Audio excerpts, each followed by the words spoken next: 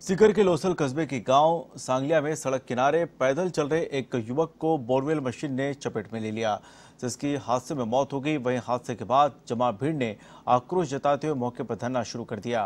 वही लोगों के आक्रोश को देखते हुए सीओ ग्रामीण राजेश आर्य ने समझाइश की, लेकिन ग्रामीण नहीं माने। हालाँकि पूर्व विधायक पेमाराम और बीएल रणवा की मौजूदगी में लंबी वार्ता के बाद बोरवेल मशीन यूनियन और गाड़ी मालिक की ओर से परिवार को आर्थिक मदद के रूप में 21 लाख रुपए देने के आश्वासन के बाद मामला शांत हुआ।